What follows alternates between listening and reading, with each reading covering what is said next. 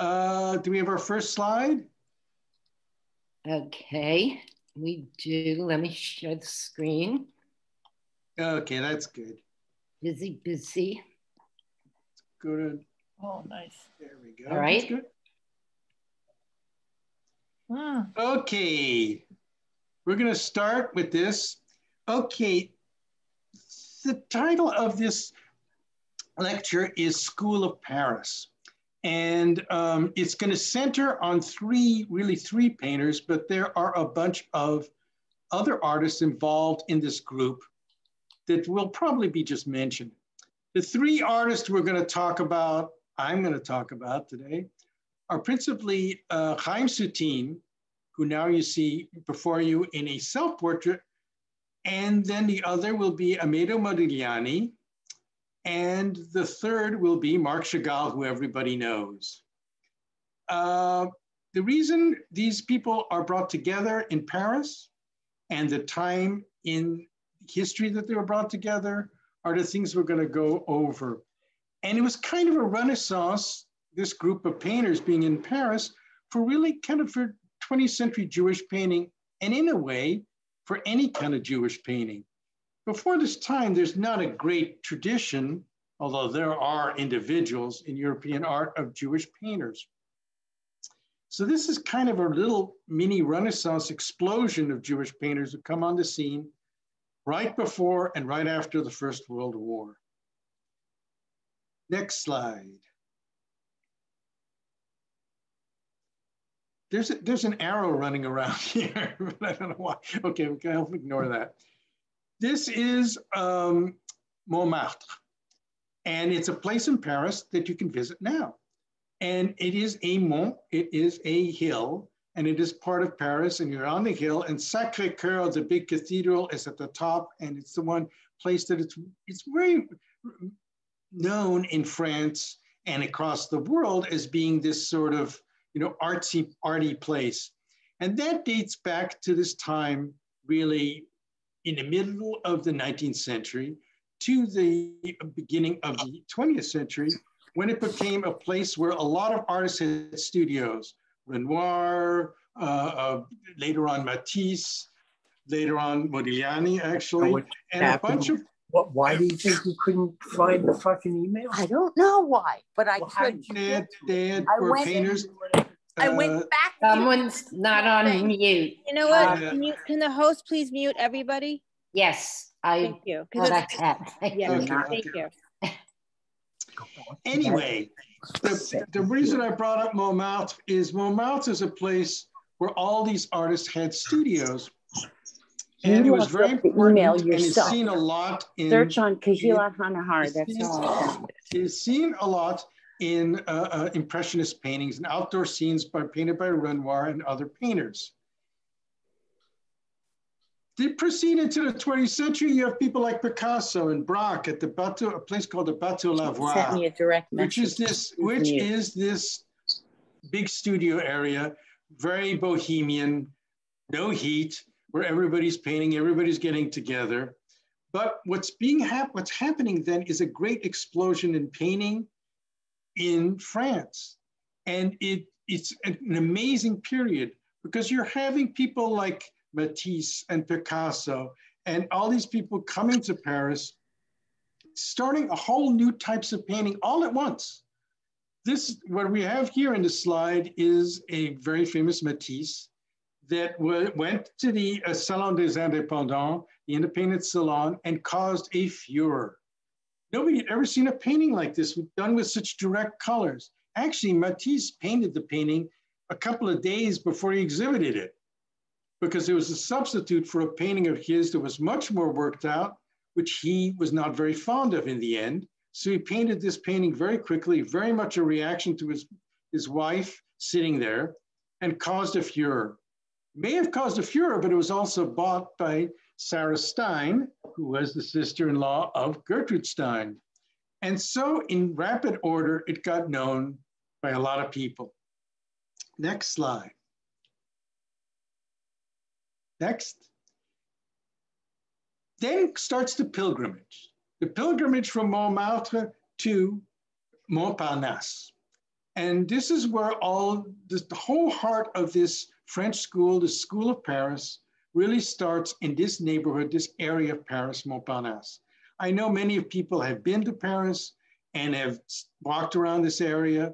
It's an area that starts pretty much close to like where the where the uh, Notre Dame is and spreads out all on the left bank. It is characterized principally by these huge long boulevards that are a very open area. You can see them in this slide that these areas are, are populated by a lot of people. This is a slide from that period in the 20s. And you can see that this famous cafe, Café de Dôme, where people sat out could eat and drink and, and hang around. And these were places, the Café de Dôme, the Rotonde, the uh, uh, uh, La Coupole. These were places where artists went and they could sit around all day. They even in the Rotonde could trade artwork for meals, for drinks. And this became a very social hotbed. I want to point out now that my father and my, both my parents experienced this period in Paris themselves. My mother was studying and it was in the ballet at that time, the Ballet Russe. And my father was starting out as being, who had started out as a painter, was now turning to becoming an art dealer. And he was meeting very many artists there. And he told me that when he was young at that time and in Paris, he could walk down the street and look into the dome and look across the street to Rotonde, all these cafes. And he would see sitting outside Picasso and James Joyce and F. Scott Fitzgerald, and all these people were very accessible. They were sitting right on the corner and they would spend their days, a lot of time, socializing in these places. Next slide. Next.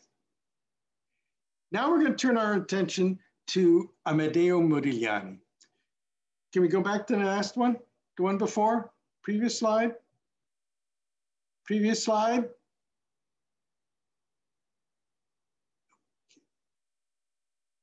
Anyway, having a hard time. Okay, we'll stay on this. Where was just a photograph of Modigliani? Modigliani is born in Livorno in Italy.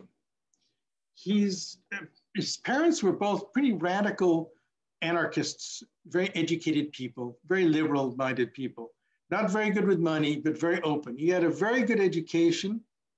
He grew up in Italy. He spent time in Venice as a young man. He started drawing, and he was a very precocious artist. He was very talented, and he was regarded as that. People recognized that in him.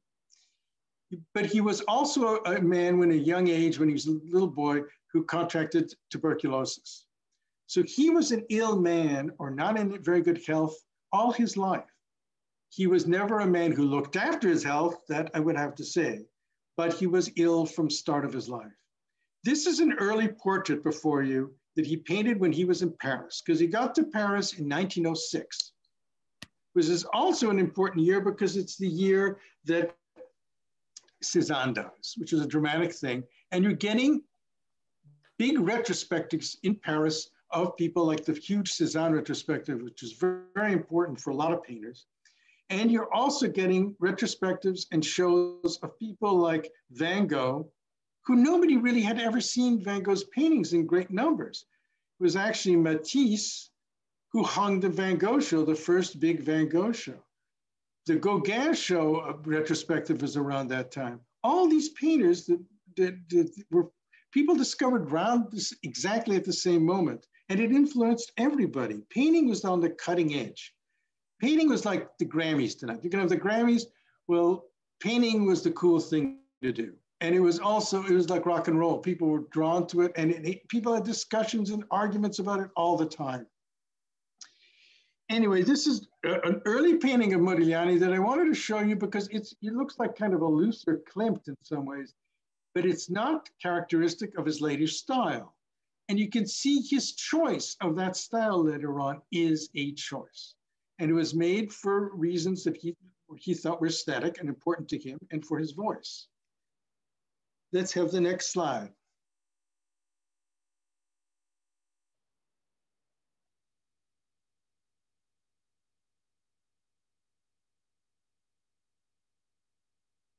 Okay, that next slide is on the left. You can see Modigliani. And in the middle is a man, get my cat down. In the middle is, the, is a man that everybody knows. It's Picasso. And on Picasso's left is André Salmon, who was a poet and also art critic, quite well known, who lived quite into, into like the until 1969. You can see here that a, a couple of things about Modigliani. Like Picasso, they're short people, but Modigliani is quite a handsome man. He was kind of and known very much in his time as kind of a chick magnet. He was a very a man of great dissipation. He was an alcoholic. He smoked hashish all the time. He never had any money. He kind of depended on handouts from people. And he sort of drifted around. He would do drawings in these cafes of people just to get a meal. And he, so he was a very kind of your archetypical bohemian type, kind of, you know, very famous kind of character like that. He also got some stipends and money from various collectors who then would get a certain amount of his output in painting in return. But uh, it was never that much to live on. And he was always at the mercy of, you know, starvation pretty much. Next slide. This is a later painting of his where, he, where it can show you how his style developed and became a much more, you know, reduced kind of abbreviated style, which he was famous for. This is a portrait that he painted of Picasso and quite an interesting painting. Shows a little the influence of, of Picasso's work too, and of Cubism and of simplifying things. Next slide. So these people are, are, are, are, are Modigliani and his group and all this, all these um, bohemian types are living in Montparnasse. And where does the name Montparnasse come from? Montparnasse is Mount Parnassus. So it, it was sort of like the mountain where the gods in Greek times were, were living. And so it was, it was, there was no, there was a reason why it was called this. First of all, probably because it's very close to where all the university is and and where and it was also because it was the hotbed. It was this very exciting time and place for people to live. And people, as I say, would go to these. Here's La Coupole, which is a famous, uh, uh, uh, another one of those famous restaurants, brasseries, where people could sit outside and see people. And I'd like to point out that when I was a young boy in Paris with my father, probably when I was around 12, I was sitting outside of this very restaurant when a man walked by from the street and my father called over to him and he said, Osip, it was Osip Zadkin, who was also was a sculptor, a Jewish sculptor, also a Parisian French person, who was part of this group School of Paris. And it, I can point out to you, even that time in the 60s, the, the remaining artists who survived would frequent these same brasseries and places where they grew up. And that's kind of an amazing thing. So it was an ongoing thing. And if you went to La Coupole, there was a section of La Coupole which was divided for people who wanted to have like a, a you know white tablecloth and a real meal, and the other part that was pretty much for the you know the poor artists who going to get a sandwich or something.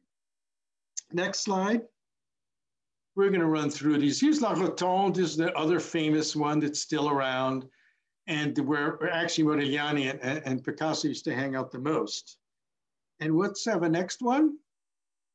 And here's the Dome. That's the third. So that's a very famous place. It was more literary people at the Dome than at the other two. Next slide. This is the interior of La Coupole with its, where it was division, divided. And that came into operation in the 20s more than, and was mostly known also as a seafood restaurant. Next slide.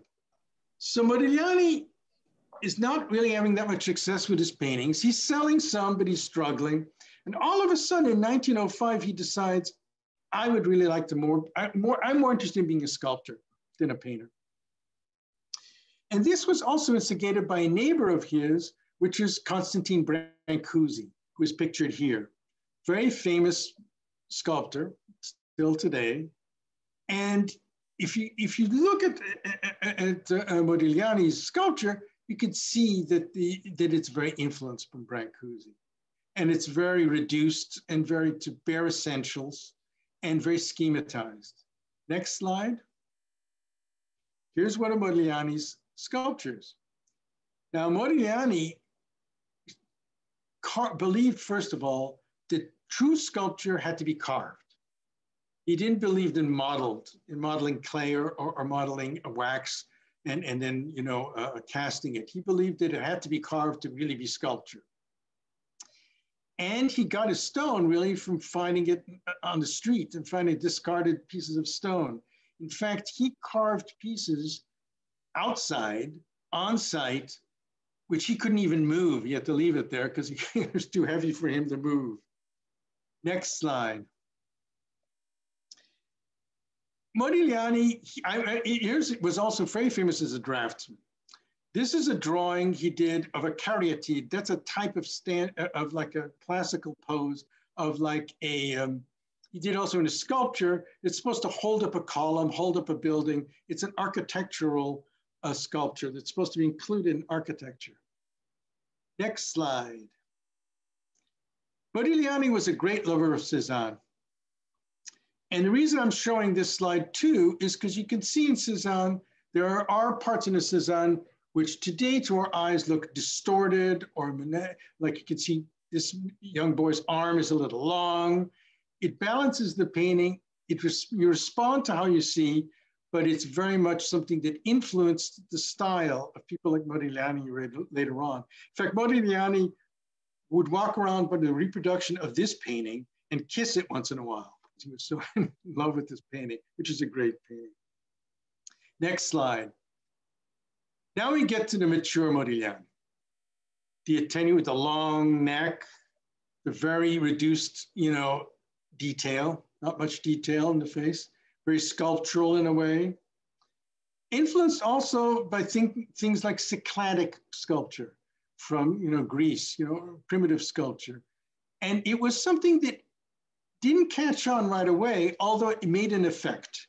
He was showing it at the Independent, the, the, the, salons. So people were seeing his work.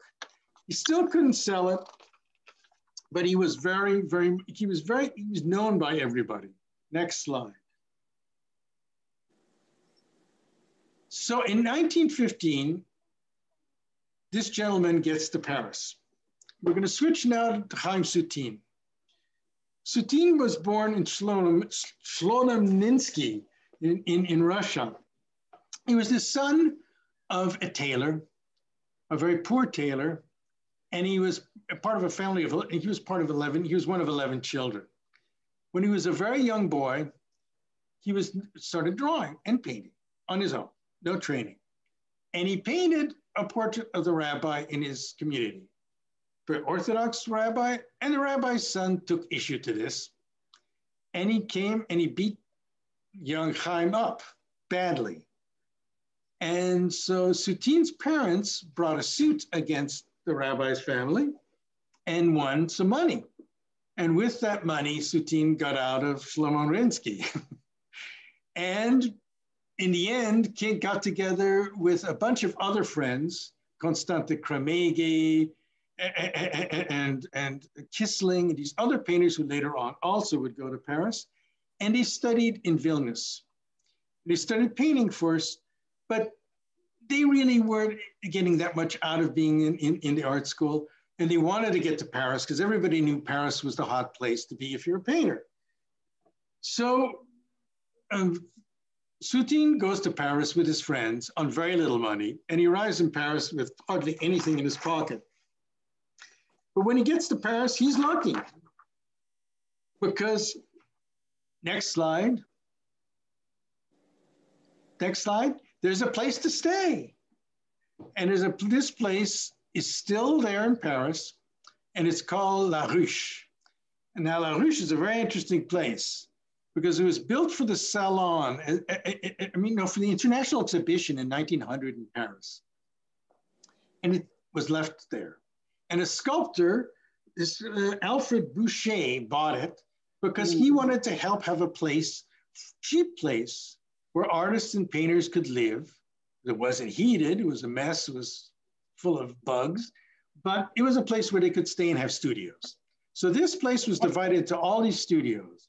And people who had stayed, who at one time were in that place were people like Diego Rivera, uh, uh, Soutine, Chagall, Lipchitz, all these people lived there and, and at one time or another and worked there. And it's in this place that uh, uh, uh Soutine meets Modigliani. And the person who introduces them is Jacques Lipchitz, the sculptor, and right away they get along. First of all, Modigliani really thinks that Soutine is a great painter, even at this early stage. And they become very close together, and they're also big drinking buddies and carousing buddies. Next slide, please. This is a very early Soutine when he, painting that he did when he came to Paris. And what this painting uh, uh, paints is another studio where both Soutine and Modigliani moved quickly. And it wasn't that much nicer a place, but it's also Montparnasse, and that's in Cité Falguière. That's a part of Montparnasse. Next slide. And this still remains. There's the studio. It still remains there in Paris to this day. And just as a memory, it's a memory of what used to be in that section of Paris. Next slide. When they get together in 1915, this is during the war, during the First World War. And Modigliani gets to know a man called Leopold Zborowski. This is Modigliani's, one of Modigliani's many portraits of Zborowski.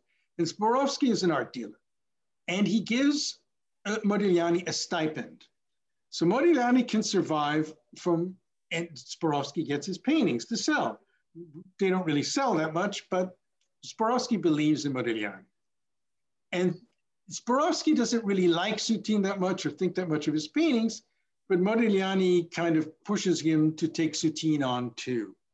And this is a very dramatic moment for both of them because now they can actually survive in a way. I mean, they still don't have mm-hmm. much money, but they can survive and keep painting. And Zborowski also produced, you know, procures, you know, paints and canvases for these people. One thing to, which is very interesting is that both Modigliani and Soutine tend to paint on used canvases. Soutine especially would go to like the flea market and get other, like they would sell tons and tons of paintings that nobody wanted, and he would paint over them. A lot of Soutine's paintings are painted on top of other paintings. Next slide. The other thing uh, uh, Zborowski does is he pushes Modigliani to paint nudes. Now, this probably didn't really help Modigliani out that much, but these are the paintings that today are worth huge amounts of money. And this one was sold for, I don't know, $70 million recently or something like that. There are also paintings that, that really established Modigliani's reputation in Paris in another way he gets his first one person show at this Berthe Weill's gallery. She was an art dealer who also had shown Matisse earlier on, but she gives him a show of these nudes. And the show is closed down because a, a policeman walks by and looks in the window. And next slide. And he sees paintings like this. And he's scandalized. Why is he scandalized? He scandalized show and closes the show, not because these are nudes. They'd show nudes, the classical, you know, academic nudes. No, but these nudes have body hair.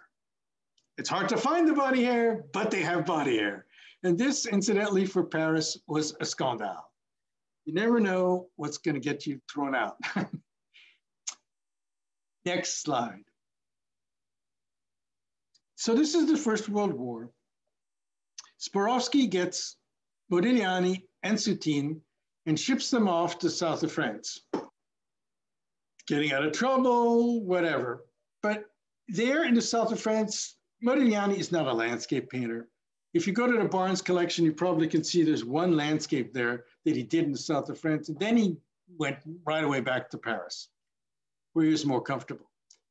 But Soutine stayed in the south of France and started really to paint the paintings he's most famous for. And these are these incredible explosions of color and paint that are, are, are of they are done on site. They're done from subject. This is Cagnes. Is every, anybody who knows who's ever been in Cagnes? Cagnes is on a hillside. It's overlooking the Mediterranean, an old, like medieval town, beautiful place. But this explodes for Soutine into what he sees it. It's kind of a liquid architecture. And the thing to remember about this is now people characterize as, as expressionist, but really, I think it's more expressive than expressionist. And it's also a painting that's done very quickly, very energetically, and obviously an emotional reaction to a situation, but it has an intense architecture also and will influence other artists later on because of that. Next slide. That said, they are pretty crazy paintings. They're very wild, they're very all over the place. It seems like inanimate objects are alive. And there are people who write about Soutine and they go, I don't know, there's nothing particularly, critics say, well, there's nothing particularly Jewish about Soutine. And I kind of go against that opinion. Soutine is coming from a background of Hasidism, of ecstatic dancing, feeling of oneness with nature, animation of nature, God in everything, everything being extremely alive. I mean, I think these paintings are pretty much like that. I mean, if there was such a thing as really Hasidic painting, I think this is it. Next slide. So Soutine is in this part of, after he's in Cannes, he goes to Céret. Céret is a place that's closer to the Spanish border. And he starts painting a whole bunch of paintings like, like this that are really liquefied. I mean, they are the most extreme paintings he painted, painted in his life. They also are paintings that later in his life, he tried to disown, which proves something that's very true about a lot of artists. Artists don't necessarily, aren't exactly necessarily the best critics of their own work. And to us, these are like the prime soutines. And I will point out that we are very fortunate if, for where we live. I mean, in Kelly Kehilat Hanahar, because anybody who lives in our, our area, other people are looking at this talk, they're very close to, to collections. You can see collections where you can see a lot of soutines. You can go to the Barnes collection in Philadelphia, and especially you can go to the museum in Princeton that has a huge collection, including the self-portrait of Soutine, and you can see a lot of really top-level Soutines of this period, of this Céret period. Next slide. Now I'm going to switch back to Paris. Soutine is still in the south of France, but Modigliani is in Paris. And his situation is getting worse. His health is much worse. He's very, very ill, gravely ill. And this painting I'm showing you here is a portrait he paints of his then common law wife, and, and, and Jeanne. She was disowned by her family for really getting together with Soutine. Uh, no, not Soutine, Modigliani. I'm getting mixed up. Modigliani. And but he, she became, and they had a very tempestuous relationship. Modigliani always had tempestuous relationships even had a relationship with Anna Akhmatova, the famous uh, Russian poet, but that also ended, you know, in an explosion. He paints Jeanne many times, and his paintings are starting to get recognition. There's a show in London. He's starting to be written about by, you know, people who are involved in the art world and interested in modernism. It's, it comes too late. He's very ill. His tuberculosis comes back. He's drinking heavily and he dies. And sadly, Jeanne kills herself very shortly thereafter. So it's a very sad end to Modigliani. He was kind of this flame of bohemian guy who very quickly burnt out. Soutine is still in the south of France. He doesn't even come back for his friend's funeral but shortly thereafter, he does get back to Paris. Next slide. And he starts painting portraits. And this is a significant painting because this painting is in the Barnes collection. If you go to Philadelphia, it's in the Barnes collection. And if you'll notice on the left, this young gentleman, this pastry chef, this little pastry cook, has a very large ear. And it was that ear that made Soutine's life good, that brought fortune to Soutine. Because Mr. Barnes, next slide, here's Albert Barnes in the Barnes collection in Merion. Well, Albert Barnes, this on his second trip to Paris, this is 1922, sees that painting of the little pastry chef with the ear.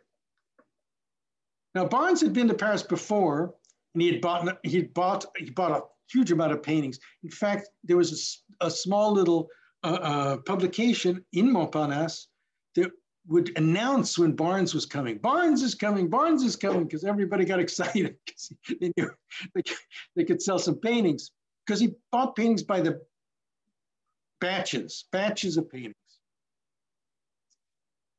In fact, this is a true story.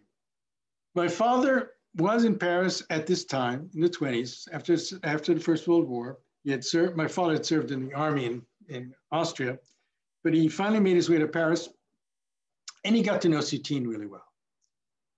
And he, they were, he will, it tested the fact that Soutine was pretty much as wild as they make out. He was a guy who, Soutine was a guy, let's put it this way, you, cleanliness wasn't his great suit. In fact, when he got some money, he would buy a suit and he would wear it constantly, sleep in it. And when the suit got really dirty and moldy and whatever, he'd just throw it out and buy another suit. Um, he was a kind of wild guy. And they went carousing together, my father and Soutine and a bunch of other people. In fact, they were at Leopold Zborowski, Soutine's dealer, uh, gallery when Zborowski came up to Soutine and my father, he said, gave him some money and said, get out of here, go have lunch. Barnes is coming. I don't want him to see you guys. If he sees you guys, he's going to say, oh boy, look at these crazy people I'm dealing with. So I, let me talk to him first alone. And that's when Barnes saw that painting with, with ear. And Barnes ends up buying 50 Soutines. He didn't keep them all over the years. He sold them off quite a few, but he also kept a bunch of them. And the story goes that when Soutine got his money from Zborowski for these purchase of these paintings, or at least the first payment, Soutine went into the street and hailed a cab in Paris and he said, take me to the south of France. And the cab drove 400 miles to take him to south of France. And that's the kind of guy he was pretty much. But so Soutine makes, this changes everything for Soutine up until the end of his life, Soutine, although he's, you know, he's not the guy who looks after his money very well, he still always had money. He had people who would buy his paintings. And in fact, my, fa my father was the person who introduced Soutine to older painters like Vuillard and Bonnard, who were better known in France. And they recognized, even those painters who paint in a very different manner, recognized the talent of Soutine. The talent with color, the talent with paint, they could see it right away. Next slide. The thing about this is a great Chardin painting, which is in the Louvre. And I wanted to mention that the thing about Soutine that is kind of maybe contradictory is he might be this wild man, but he loves old masters. His great painters for him are not Van Gogh, are not Cezanne. We thought, he thought they were old maids. The painters he loved were Rembrandt, principally, Chardin, Courbet, Corot. And in fact, he loved those painters so much, sometimes he would make versions of their paintings. Next slide. And this is Soutine's version of the Chardin, the Ray. A little wilder, I would say, but still keeping a feeling of it, a feeling of the past painting. Next slide. Now we get to the most famous group of paintings, which were influenced by an old master that Soutine painted. These are the paintings he painted of the big piece of beef, the side of beef. They were influenced by this painting by Rembrandt, which is actually a kind of small painting in the Louvre. But it's a very important painting because it also relates to a famous Baudelaire poem called La Charogne, the rotting piece of meat. What these, that poem proves, and what this painting proves, is subject matter isn't that important. It's how you use language or how you use the language of paint to describe it. That, this is a great painting and it's beautiful, even though it's of a piece of meat. And this painting influenced Soutine to get his big carcass, next slide, next, and start painting these huge paintings of carcasses, which are probably some of his fam most famous paintings. He hired a studio just for that. He hung the, the, the carcass up. He had a young woman assistant get uh, a, a vats of blood from all these butchers to keep it moist. But after a while, while he's painting this carcass, it's starting to smell a little. So the neighbors are calling the police and they call the police in. And the police come in and say, wait a minute, this really stinks around here. But it being France, and there being no facial hair involved or body hair, the policeman comes up to Soutine, he says, wait a minute, you're painting these, you're making paintings of these you know you can inject them with these different chemicals and you can get rid of the stink. So the cop helps out Soutine and he keeps the, the beef and he keeps painting. Next slide. And he paints a whole series of these. And they're really some more flattened like this, some more modernist, some having more depth. But they become very, very big things that make Soutine's reputation.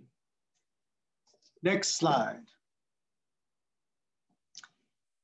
Soutine also painted a lot of still lives. His still lives, as you can see here, are very animated. Nothing like his landscapes, inanimate objects are animated. Those, you know, forks look very alive to me. In fact, they look more alive than the rabbits. He keeps making still lives when he can't paint uh, uh, portraits or he can't paint uh, uh, landscapes. Next slide. Here's another one from that beef series, which is more, in a way, more traditional. Next slide. So Soutine is also painting portraits. And he paints portraits like the little uh, uh, uh, uh guy who's the little pastry chef. He paints portraits also of working people. Like this guy's a bellhop. Next slide. And this lady is a secretary. This little painting is beautiful, It was probably painted very quickly. It's in the Phillips collection, and it happens to be the secretary of my father. This was my father's secretary when he was in Paris. And Soutine came up to my father and said, would you ask your secretary if I could paint her? And my father said, why don't you ask her? so he did, and he painted this very quick little painting which is now in the Phillips. Quite a beautiful painting. Next slide. This is my father. Is a photograph of my father in his one gallery, open gallery ever had in Cologne in the 20s in, in, in Germany. And uh, he, one of the first shows he ever had in that gallery was not of Soutine, but it was of Chagall. And next slide. Now we're going to go over for a second to this third artist, Chagall, and talk a little about him. Chagall is much better known than Soutine in America and internationally. In fact, he's one, probably the most internationally well-known Jewish painter. And when Chagall used to complain to my father later in his life, oh, I don't have any money, oh, my father said, until every Jew in the world has a painting of yours, you've got a you, you got a built-in clientele. but Chagall was a guy who loved to complain. We'll attest to that fact. And he was also much more of a person who was involved with his career. He was very much a guy who, who very much wanted to get ahead. Not that that's a bad thing, Matisse was like that, Picasso was like that, but people like uh, Soutine or Modigliani were not like that. Now I'm going to go through a couple of paintings of really the major Chagalls, the Chagalls that really built his whole reputation. Next. Beautiful painting, colorful paintings that were painted in Paris early on. These are all, this painting is pre-First World War. See, what happened to Chagall was he got to Paris earlier than both Modigliani and, and Soutine. And he was living at La Ruche and he was painting. He had no money, but he was also very good friends with people like Robert Delaunay, who was a great influence on this painting, and Matisse and those people. And he's starting to get shown. He's also starting to get known very much in Paris. Next slide. A painting like this, which is very famous, The Fiddler, like Fiddler on the Roof, is painted really on a tablecloth. He didn't have the money for canvas to do this, but it's an iconic painting and defined his style, which pretty much he kept for all his life. Chagall never really changed his style. It was a style that was really discovered on his own. In fact, when surrealism started to happen, André Breton was the head of the surrealists, really wanted Chagall to join the surrealists because you're telling fantastic stories. You, you, you know, he, he, thought it was they were very akin to surrealism, but Chagall said no. You know, he, to Chagall, these stories are stories of his childhood, and they're they're not so much you know dreams, as they are fantastic relations of, of, of a narrative story told in a very plastic, different plastic, modern plastic means. Next slide which include cubism, modern ideas like that. Those are all incorporated. And this playful kind of style of Chagall remains with him all his life, as I said before, and leads to paintings like the next one, a very famous painting, a painting also my father used to own at one time. That was also exhibited in, in, in Germany at the time. It was one of the reasons that my father really had was, was in peril when he was in and had to leave Europe. Uh, having a, a Chagall show in Germany right before when Hitler was coming in was not the best idea in a way. You got very well known as a Jewish dealer and as a Jew showing modern art. Two things the Nazis didn't like Jews and modern art. So my father later on went to Paris. I mean, during his time in the 20s. And but when the reason he left Europe is because he got word from a, a, a, friend he had in the English English embassy who said when he saw the list and he said when the Germans come in to Paris, you're on the list. They're going to arrest you immediately. So, but my father got out, which was a very good thing. Um, and he got out in time. Next slide. Of course, Chagall had a long career, went on to doing, doing a lot of stained glass windows like these that are now, you know, outside of Jerusalem, these whole series of windows. And you can see them. Biblical themes, he's very well known for that. He has a whole museums in the south of France. He went back to live in the south of France. And as a young man, as a young boy, I met him there with my father at the end of his life. But he was very productive and remained productive and popular till the end of his life. Going back to Paris, next slide. The situation in Paris before the Second World War is very dire for Jews. You had all these Jewish painters in Paris. Some people liked them, some people didn't. Some people hated them purely because they were Jewish. And it was called the style. The style that, that, that Soutine has, this painterly, very aggressive style with paints, with material that's not, you know, it's not contained in lines, it's not classical. That was regarded as decadent and Jewish. And if you were a painter like even Morandi, when he painted with thick paint in Italy, the, he was criticized for painting in a Jewish way. It was very interesting. It was kind of assumed that that was like kind of a decadent thing and a dirty kind of thing. This photograph is a man called Leon Blum. Leon Blum, the irony is, while there was rampant anti-Semitism in Paris in the 20s and 30s, Paris actually elected its only first and to date only Jewish president at that time. And this is Leon Blum, who was a very leftist leader, who was a very supported by unions, But there still was, it was a very hard time in Paris for Jews. He even was nearly killed by a mob at one time, but survived that and remained in, in France, but lost his, his presidency quite, he was only president for about two or three years. So Paris is a very contentious place for Jewish painters. In a way, a lot of them got out. Chagall gets out, he goes to through Spain and gets eventually out of France through Spain with the help of the State Department, United States State Department, and gets to New York City. Uh, Osip Zadkin gets out. Jack Lipchitz gets out. A lot of people do.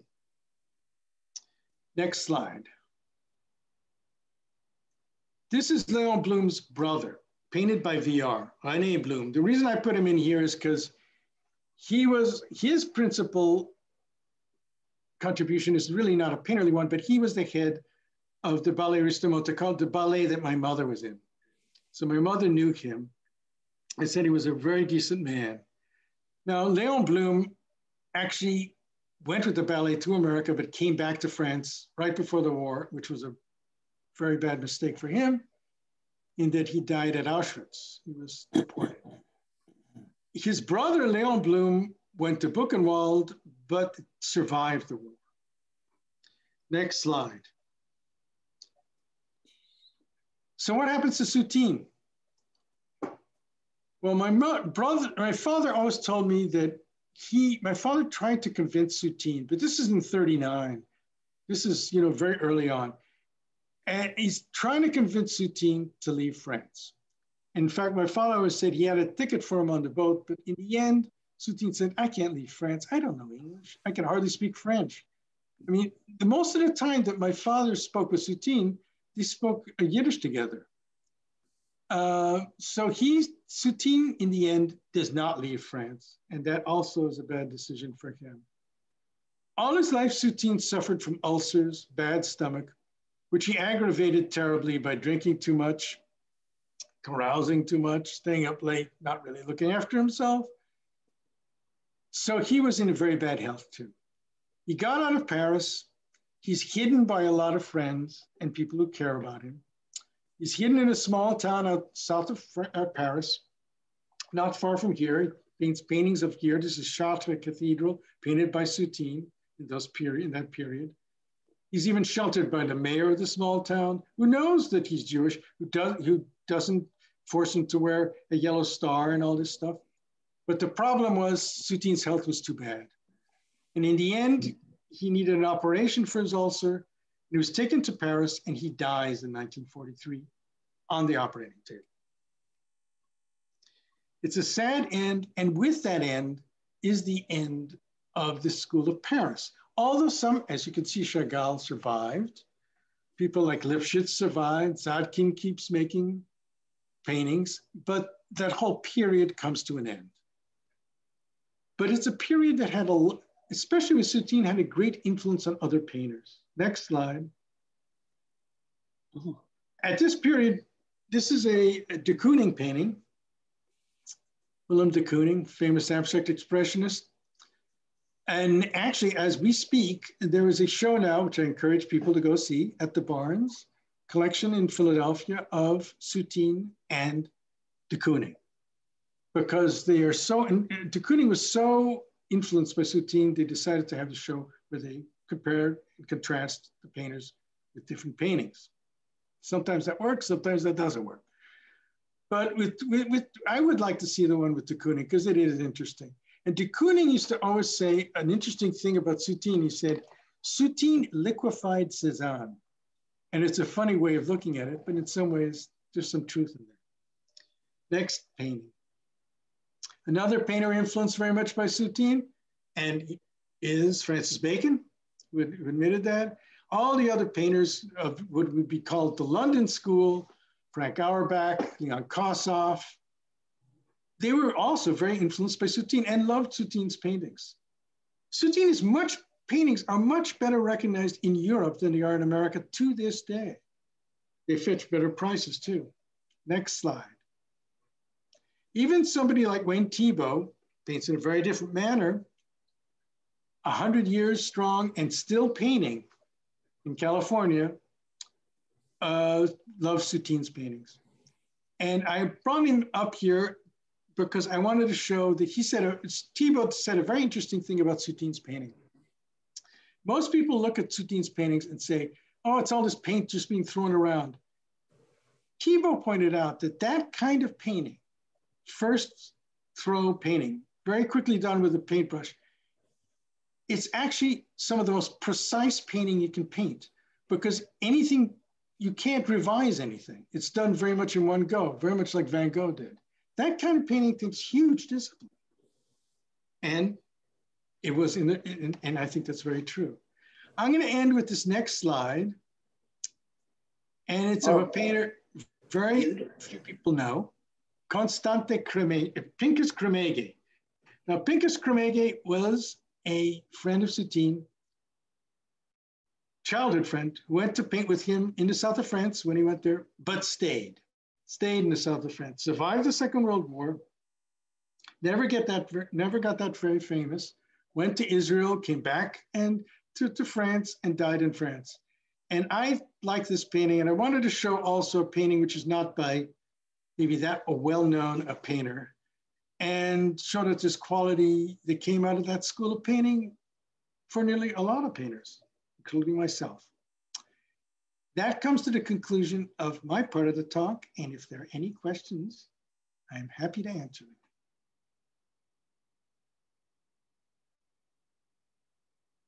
Why don't you unmute when you want to ask a question? Andrea, I've got a question for you. Okay. Uh, you know, there, there's kind of a, a persistent strain of anti-Semitism in France. And uh, I, I, was wondering what, how the, the, uh, the artists of, of Jewish faith uh, whether there are any issues between them and artists that were not of Jewish faith. Was there any tension there? Good question. Very good question. As we know, especially in the time of the Dreyfus Affair, which coincided with the Impressionist group, it literally broke up the Impressionist group because Renoir and Degas, Degas was a violent anti Semite. And Renoir was a sort of more passive, but pretty much an anti-Semite too. And, and, ironically, a lot of their patrons were Jews who bought their paintings. So they did very, it was a very ambiguous situation. And actually Modigliani visited Renoir and Renoir helped Modigliani out financially at one time. So it's, it's an ambiguous situation, but there was breakup and, and certain painters were violently anti-Semitic and, and really did even, you know, write about against Jewish painting and, and, and said people like Soutine were decadents and all this kind of stuff. So there was rupture, but then there was, it was, there was also not. And there were people like Pissarro who ended up being, you know, loved by Cezanne, as he said, it was like, he was like Moses to him. And yet Cezanne was against Dreyfus. So, you know, it's a complicated situation. But we have to remember France, to this day, is the European country with the greatest amount of Jews in Europe. It is. And it, it's kind of embedded in the situation. Although I will say in France, you know, you know, if they like you and you're Jewish, you're an Hébreu, like a Hebrew. And if they don't like you, they're sale juif, you know, you're a Jew. So it's a very, it's to this day, it's a dicey situation in France. It is.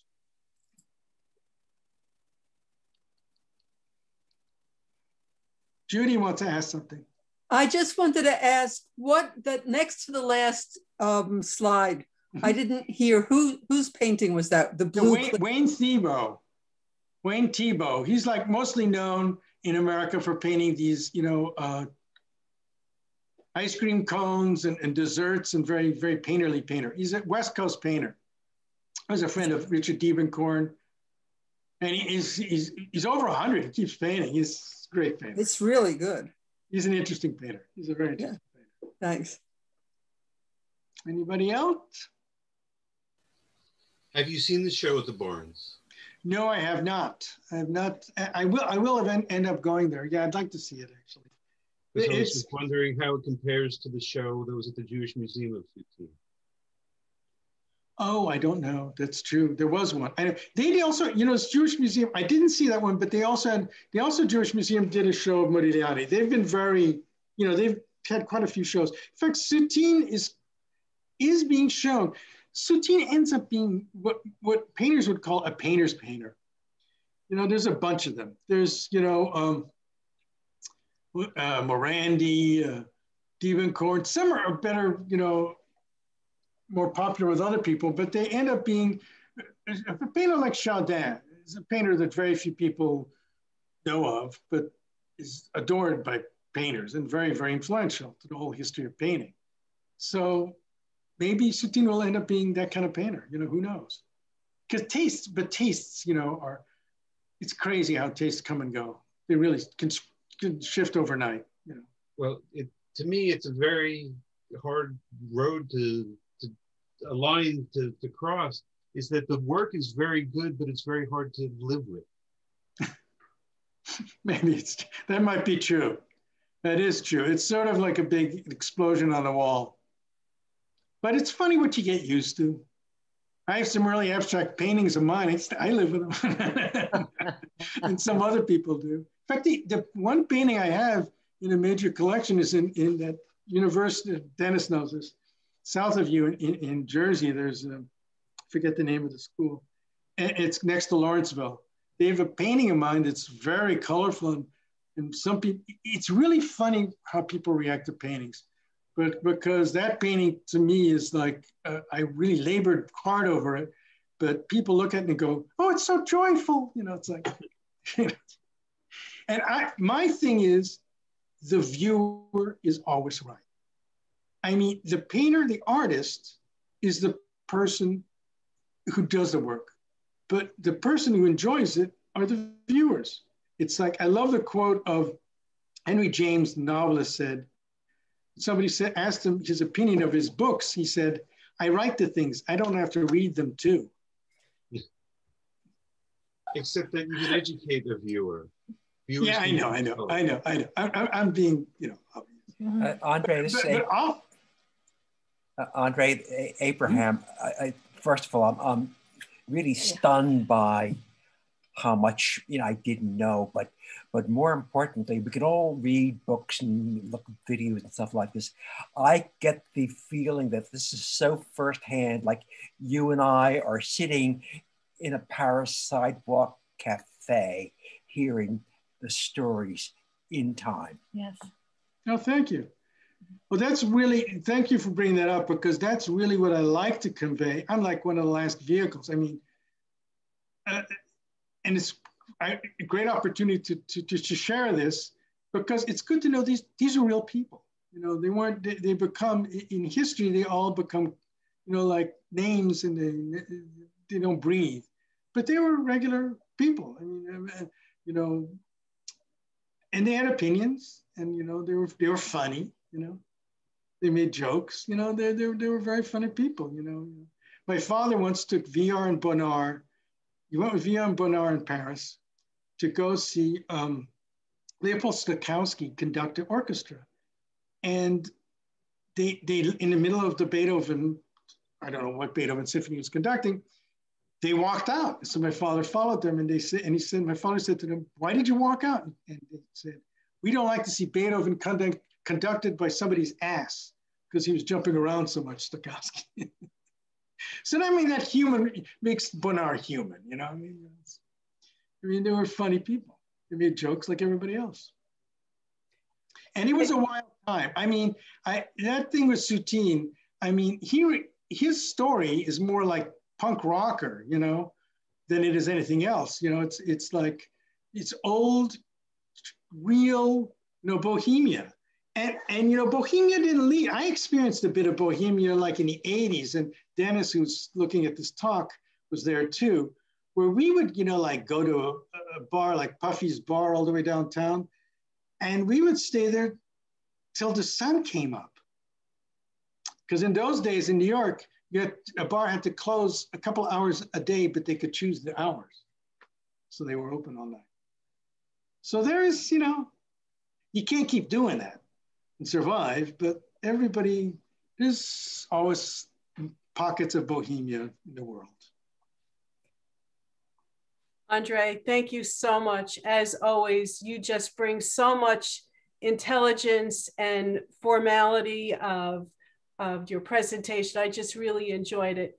But I want to talk about one painting in particular.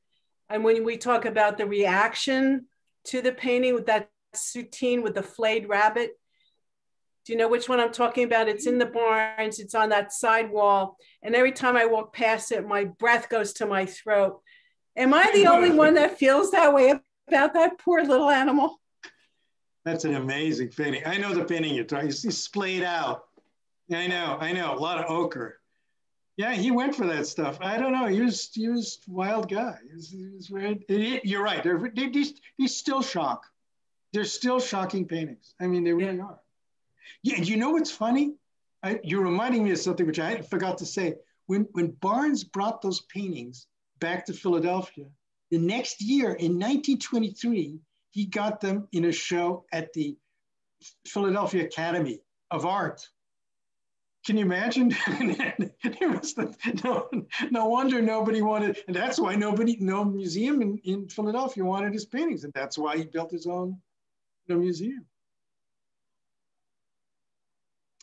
Crazy. But he did sell off most of his, a lot of Soutines, he did. Time. Anyway, so if anybody, nobody else has anything to say, Thank you all for coming. Thank you, Dennis. He's somewhere. You still there? Thank you. Thank, Thank you, Andre. You. Wonderful. Wonderful. Thank you, George, too. George, my brother. Bye bye. Thank you very much. Thank you. Enjoy the rest of your day. Sun's out. Yes.